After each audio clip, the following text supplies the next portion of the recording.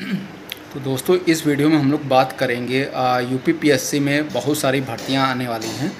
आ, ये समझ लीजिए ये भर्तियाँ ज़्यादा समय नहीं लेगी। आ, दो से तीन महीने में मतलब दो से तीन महीने फॉर्म आने स्टार्ट हो जाएगा।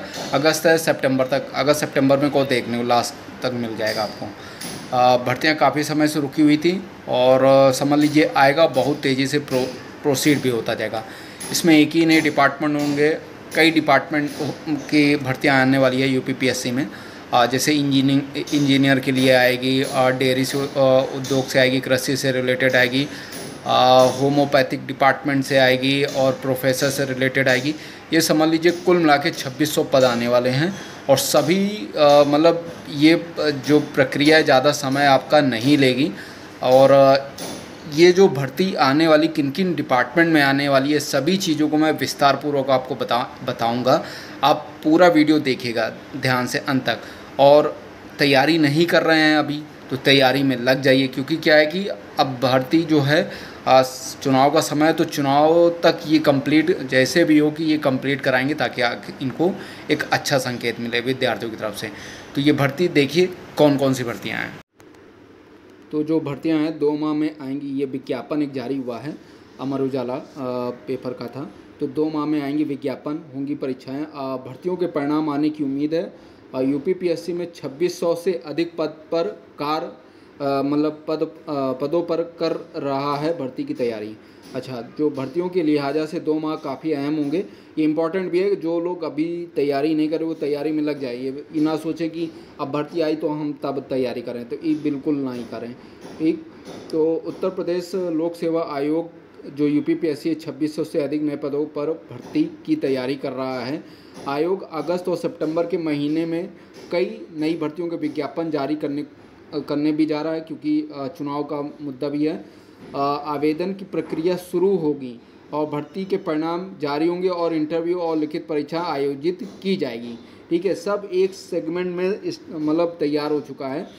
पी सी जे में पी सी जे के 303 पदों पर भर्ती के लिए इंटरव्यू 16 अगस्त से शुरू होने जा रहे हैं, जो 28 अगस्त को पूरे होंगे। ऐसे में सितंबर के मध्य तक पी सी जे का भर्ती का अंतिम अंतिम चयन परिणाम जारी होने की उम्मीद है। और वहीं 26 सितंबर से पी सी एस दो हज़ार तेईस मुख्य परीक्षा होने की, होने जा रही है।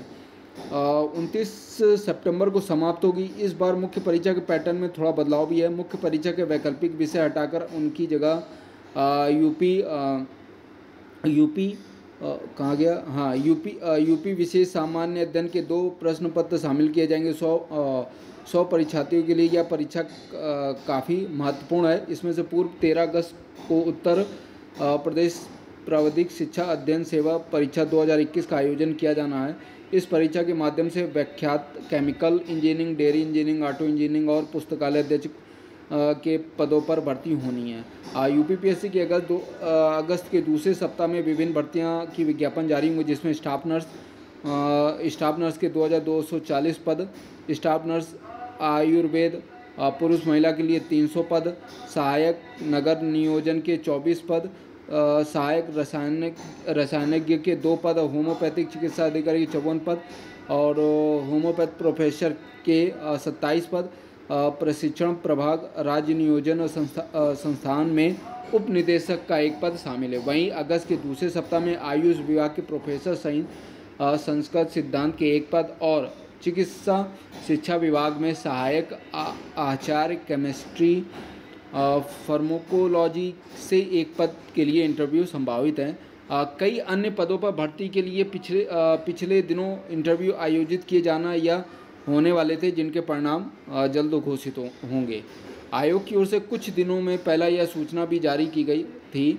अब भविष्य में अपर निजी सचिव एपीएस यानी कि जो सबसे मतलब वायरल पोस्ट है, एक तरीके से इसके लिए लड़के काफ़ी समय से इंतज़ार कर रहे हैं। मतलब ये भर्ती ऐसी कि आठ आठ, दस दस साल में कंप्लीट होती भी है और इन इस तरीके की जो भर्ती आती है, इसको वही भर सकता है जिसको स्टैनो बहुत अच्छी आती है। स्टैनो के साथ उसको ज्ञान भी होना चाहिए। स्टैनो ही नहीं मतलब एग्ज़ाम का भी ज्ञान होना चाहिए। हिंदी, जीएस अच्छी पकड़ होनी चाहिए। समीक्षा अधिकारी आरओ और सहायक अधिकारी ए आर भर्ती सम्मिलित राज्य कृषि सेवा परीक्षा आदि के विज्ञापन भी संभावित हैं। इनमें से कुछ भर्तियों के विज्ञापन में सितंबर या अक्टूबर में शुरुआत में जारी किया जा सकता है। ऐसे में दो माह तक ये सिलसिला लगातार जारी रहेगा। ठीक है दोस्तों तो ये अपडेट था। और देखिए, भर्ती का विज्ञापन जारी हो, अन्यथा ना जारी हो। अगर आप तैयारी सही से नहीं कर रहे हैं तो भर्ती का मतलब नोटिफिकेशन आया और आपने तब तैयारी स्टार्ट कर, करना स्टार्ट करा तो आप बहुत लेट हो जाएँगे। क्योंकि आपसे अधिक कोई और भी पढ़ रहा होगा। ठीक है दोस्तों तो ये अपडेट है। बाकी कोई भी अपडेट होगा तो मैं आपको अपडेट कर दूँगा।